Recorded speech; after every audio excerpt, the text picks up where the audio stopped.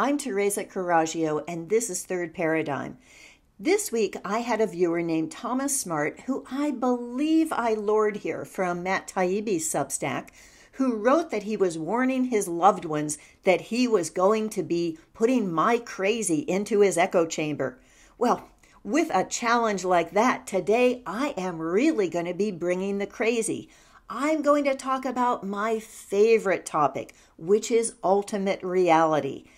And to do that, I'll be quoting from the Sufis, from ancient Jewish traditions, some of my favorite Substack writers like Caitlin Johnstone and Rob Brezsny's Real Free Will Astrology that will bring in moles turned into hawks and uh, and also Terence McKenna and I will look at Charles Eisenstein and some of his thoughts.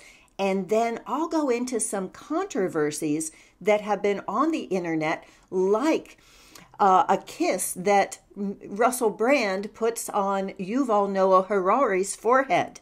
And I'll look at our right to be able to speak and why it is that that is so important.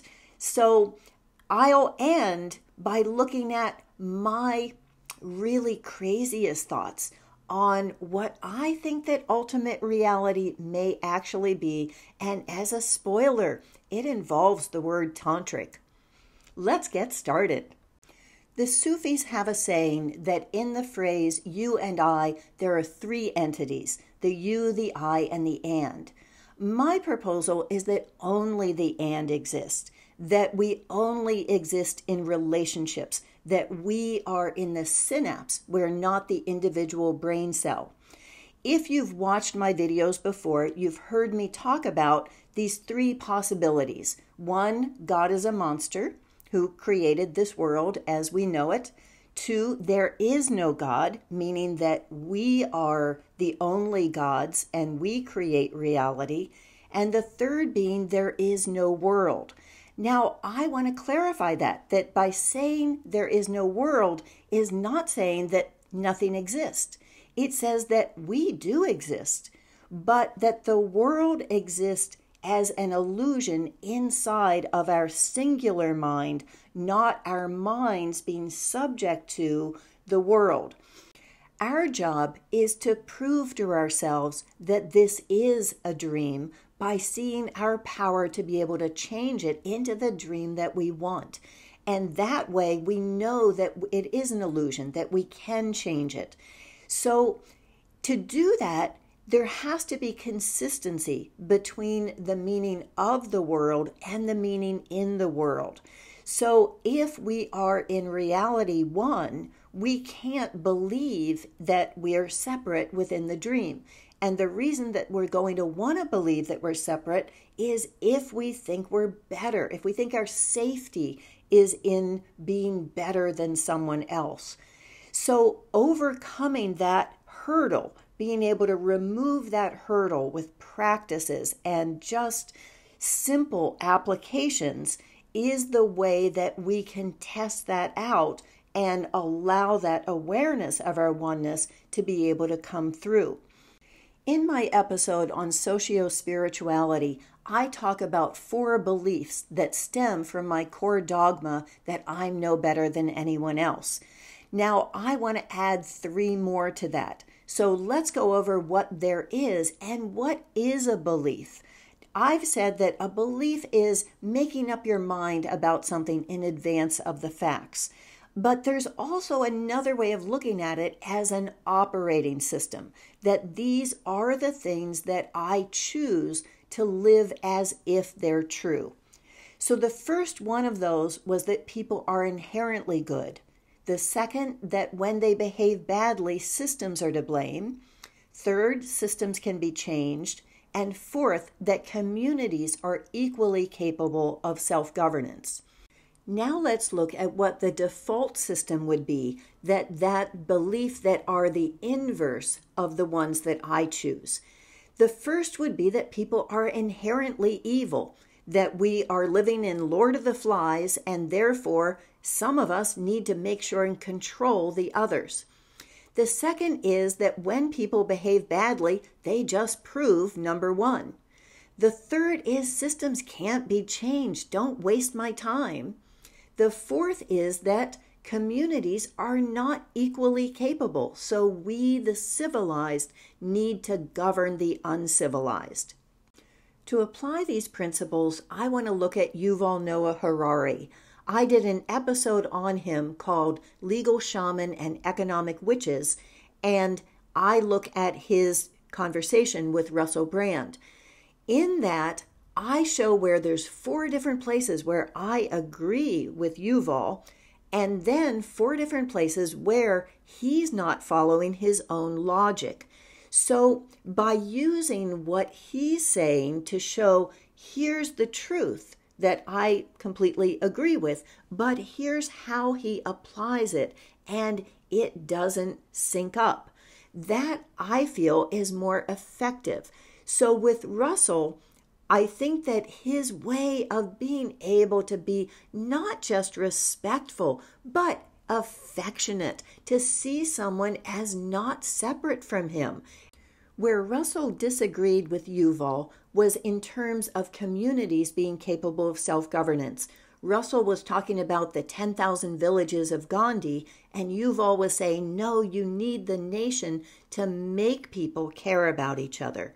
So that contradicts some of the fundamental beliefs that I believe Russell and I share, which is people are inherently good and that communities are equally capable of self governance.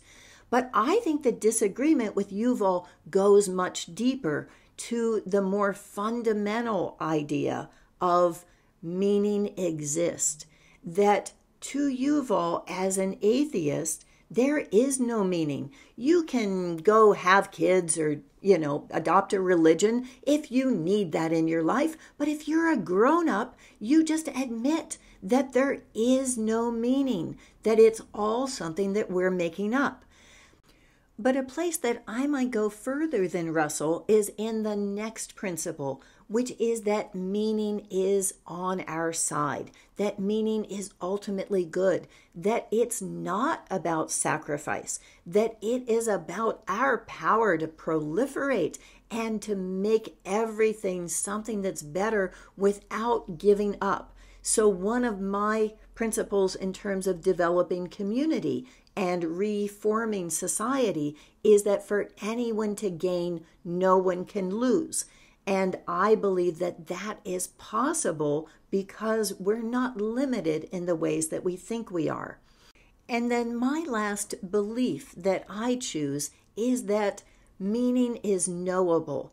And so that's being more of a Gnostic than an agnostic. That's saying we are capable and intended of actually knowing the truth and being able to discern meaning. That's why we're here. That's our only reason for being in this place where we are discerning the dream and figuring out reality from it. So, in all of those instances, you can substitute meaning for purpose and for God, which would be to say that God exists, that God is good, and that God is knowable. The reason that I think it's important to use that word is because if relationship is all there is, you can't have a relationship with a blob. That personification is essential.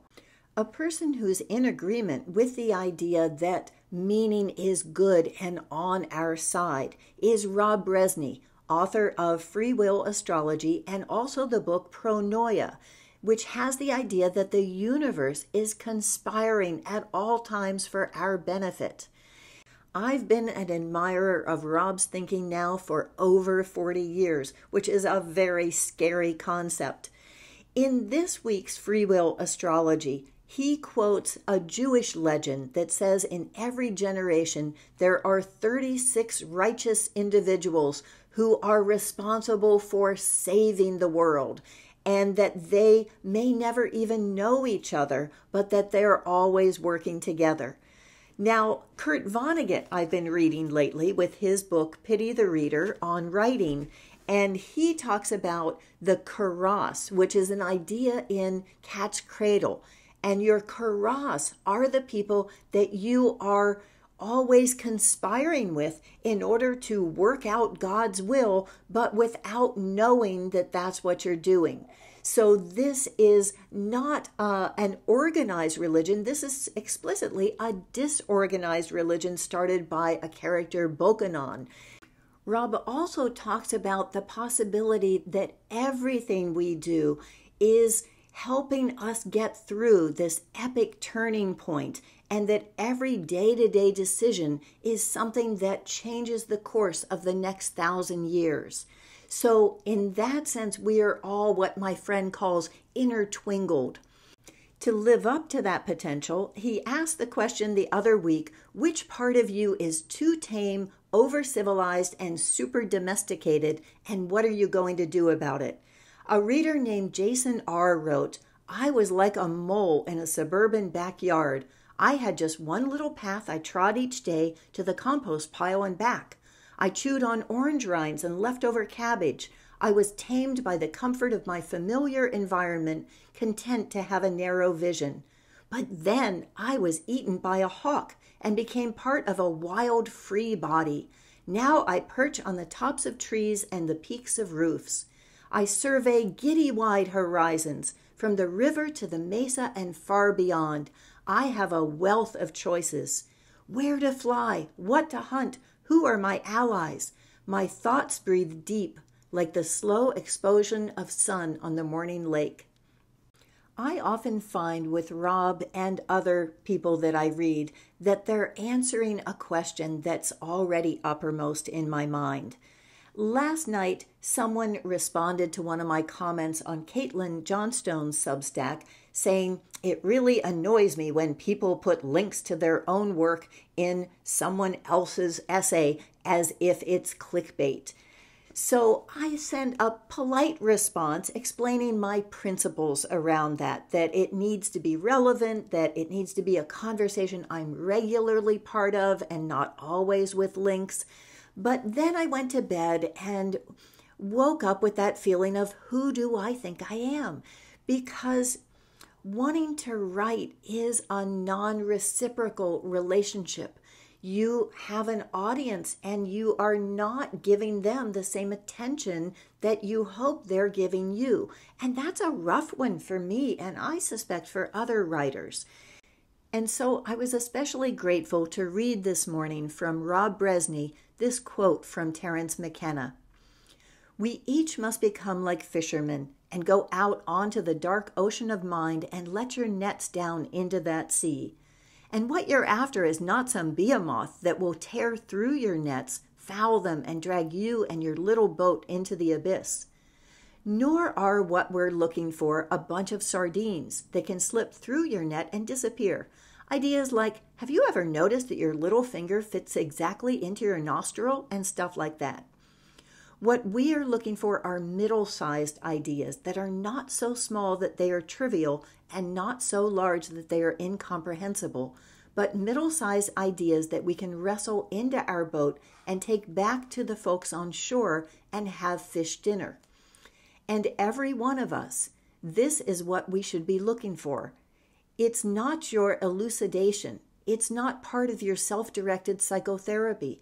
You are an explorer and you represent our species. And the greatest good you can do is to bring back a new idea because our world is endangered by the absence of good ideas. Our world is in crisis because of the absence of consciousness. And so, to whatever degree any one of us can bring back a small piece of the picture and contribute it to the building of the new paradigm, then we participate in the redemption of the human spirit. And I will read you the ending of Caitlin Johnstone's post to which I had responded, called Hard to Swallow Pills. Your mistakes don't matter, and neither do anyone else's. The self is an illusion, and all beliefs are false.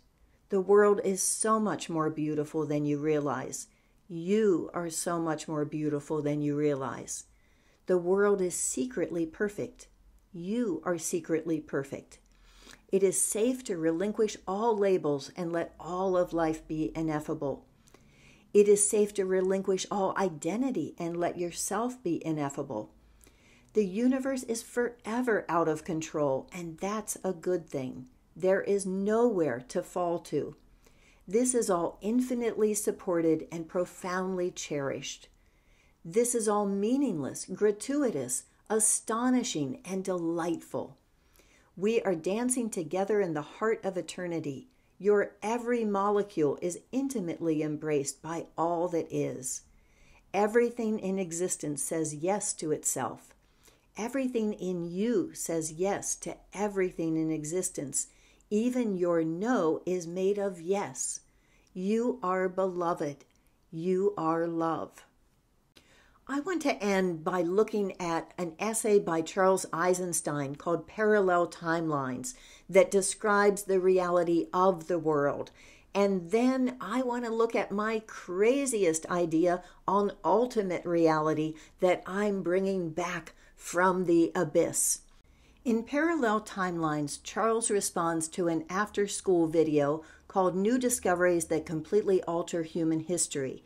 And that goes into archaeological evidence that things that could not have possibly been true for the technology of the age were evident that things have been built, monoliths have been built that there is no way to be able to explain. So these go into theories of aliens, of superhuman species, of uh, a regression in technology to the present day. And he talks about a technology that isn't so much artificial, a technology of the mind, and how we may have lost that ability to be able to alter things. I think that this fits what I'm talking about about this being a dream, and that it's a simpler explanation to say that we're writing history backwards, that the evidence that we're looking for, that this is a dream, are the clues that we are planting into the dream all the time because we're ready to wake up. Now let's look at my craziest idea if the Sufis are right and that the relationship is all that really exists, what is our actual relationship to God? There's one way in which I disagree with A Course in Miracles, which I've been studying for three decades, and that's that all three personifications of God are masculine, that the Father, Son, and Holy Spirit are all represented as He. That doesn't make sense to me because our world is clearly a reflection of reality. And why, if you were going to only have two entities in reality, would you make them both masculine? Why how can you have a father and a son and no mother? No lover, no beloved. So, in A Course in Miracles, it talks about how we are God's creativity, not God's creation, that we have everything because we are everything. Everything is contained within us. And so I think that we are the womb of God. I think that God, because of not wanting to be alone, decided to put that little bit of separation between God's self and God's creativity, that way of being surprised, of being delighted.